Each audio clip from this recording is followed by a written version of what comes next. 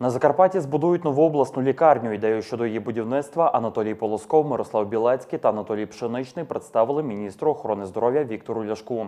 І він її підтримав. Цьому передували пошуки проектних рішень земельної ділянки, прогнозування потреб і формування переліку послуг, які б ми хотіли, аби тут утримували закарпатці, зазначив Мирослав Білецький. За його словами, будівництво нового медичного закладу найімовірніше включить у програму президента України велике будівництво на наступний рік. І на реалізацію цього проекту спрямують майже 3 мільярди гривень.